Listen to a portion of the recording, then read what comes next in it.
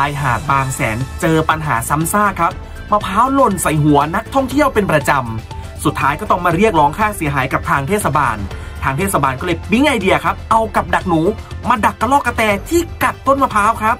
เล่าปุ๊บรู้ปั๊บเดี๋ยววันนี้ปุ๊บปั๊บจะมาเล่าเรื่องนี้ให้ฟังครับ เรื่องนี้นะครับทางนายกเทศมนตรีเมืองแสนสุขครับ บอกว่าที่ผ่านมาเนี่ยได้รับการร้องเรียนไม่ว่าจะเป็นทางพ่อค้าแม่ค้า ชาวบ้านนักท่องเที่ยว